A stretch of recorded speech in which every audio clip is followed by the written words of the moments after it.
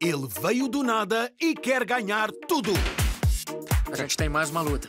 Disse 10 mil, né?